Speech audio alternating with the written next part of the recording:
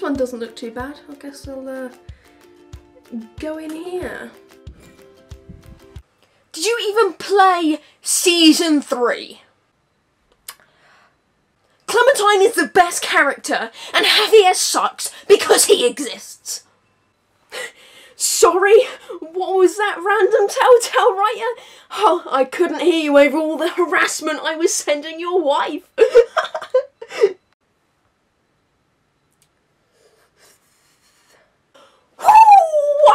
it's fine to make Clem fuck Luke if I put in the description that Clem's just slightly older than she is in canon. But just after I kill this beloved character and then make Nick pregnant. mm.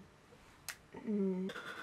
This is so fucking sad! I'm gonna come to your fucking house and kill you! And stab you to death because you killed my favorite characters!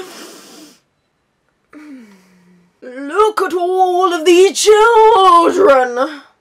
The forums are a sophisticated place for adults only! This means we can discuss important matters like what flavour Luke's cock is. Ugh. I really want Luke to fuck Clem. That that's fine. That's absolutely fine. It's not paedophilia at all. I promise you. A hundred percent. No. You know, Clem's feet are pretty hot.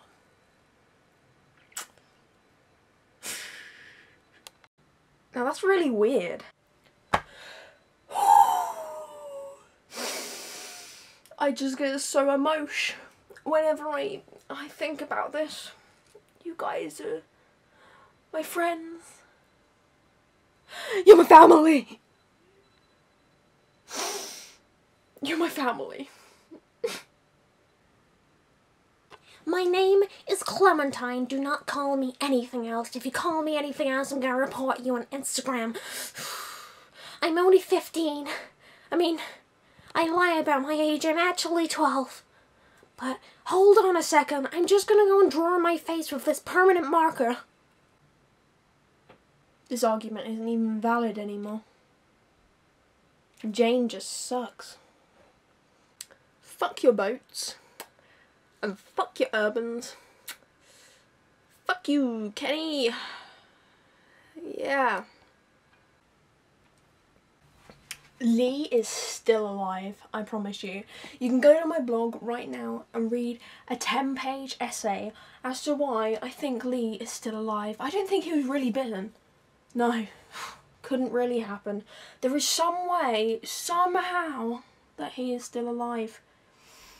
Go to my Tumblr right now. I've seen a lot of fandoms. I've seen a lot of fandoms. But you guys, I can't deal with this.